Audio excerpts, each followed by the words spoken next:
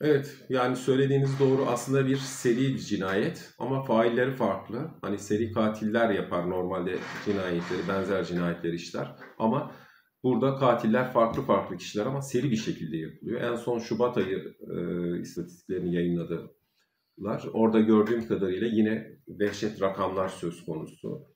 Ee, burada tabii ki yüksekten düşme, düşürülme, atlama meselesi tartışma yaratan bir konu. Hı hı. Ee, kadın cinayetlerinde son dönem bir de bu rezidans cinayetleri ya da yüksekten düşme cinayetleri, intihar mı, kaza mı, cinayet mi? Çünkü ayrımı gerçekten çok sıkıntılı konular. Ee, bu tür durumlarda da biz adli tıp uzmanları olarak vaka özelinde değerlendirme, genelleme yapmaya her zaman karşıyız. Her vakayı kendi iş dinamikleriyle değerlendirmek gerekiyor. Burada da yine adli tıpın ve adli bilimlerin diğer alanları devreye giriyor. Nedir bunlar? Bir olay yeri inceleme. Yani olay yeri inceleme ekibi alanı taraması gerekiyor. Ve oraya e, olay yeri inceleme ekibi dışında kimsenin girmemesi gerekiyor. Kontamine etmek, oraları e, karıştırmaması gerekiyor.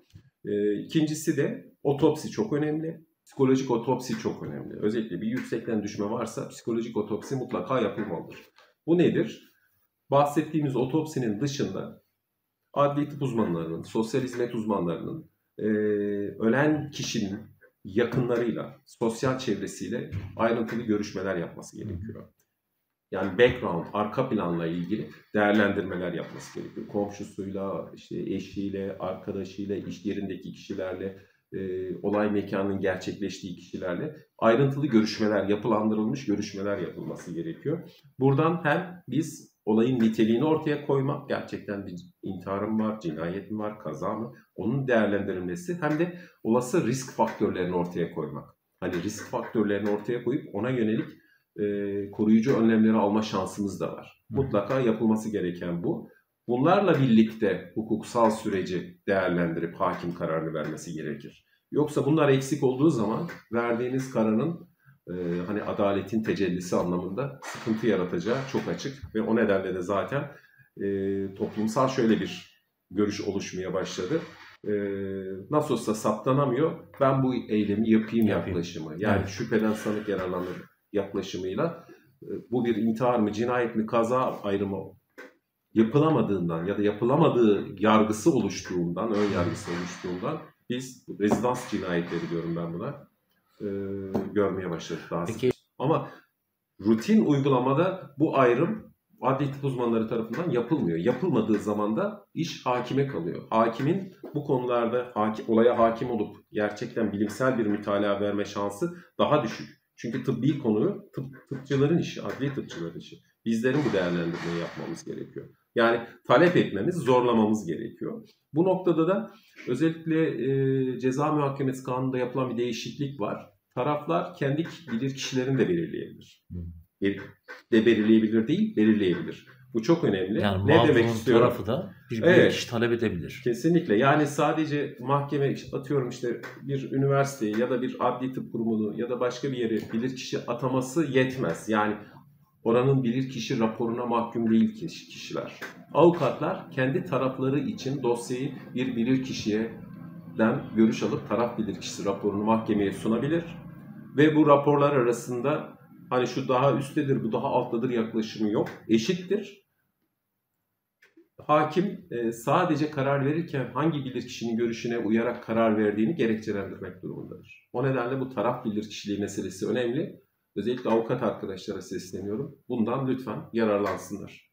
Ee, çok ünlü bir söz var. Şimdi sözü söyleyen kişiyi hatırlayamadım. Adli tıpta ve aşkta ne daima ne asla diye.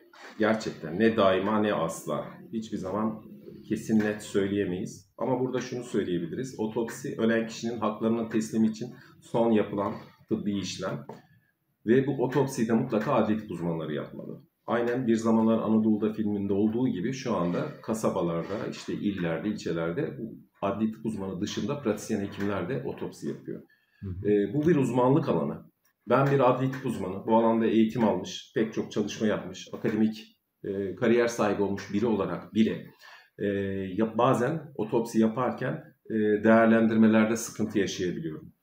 Bir pratisyen hekimin bunu yapması mümkün değil. Yapmaması gerekiyor. Yani, Biz bir de adli tıp uzmanları olarak orijin belirlemiyoruz. İntihardır, cinayettir, kazadır, doğal nedenle ölümdür demiyoruz. Biz bulguları yorumlayıp Hı hı. bunun e, dosyanın e, hakim tarafından tıbbi değerlendirmesini yapıyoruz hakime. O tıbbi değerlendirmeyi sunuyoruz.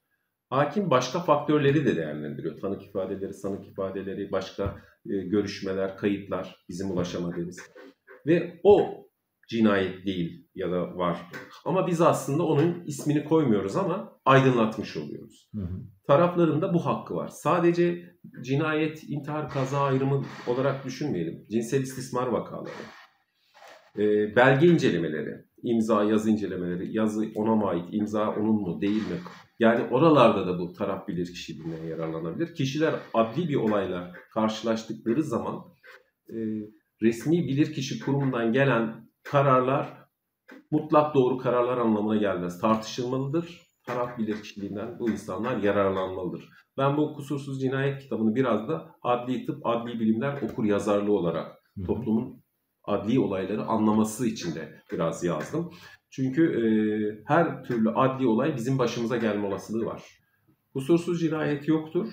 Delillerin değerlendirmesinde sıkıntı vardır diyebiliriz. Eğer delilleri iyi değerlendiremiyorsak, bilimsel gelişmelere ayak uyduramıyorsak o zaman e, kusur cinayetin kendi içerisinde zaten unsur da var. Fakat biz bunu yakalayamıyoruz demektir diyebiliriz. Evet.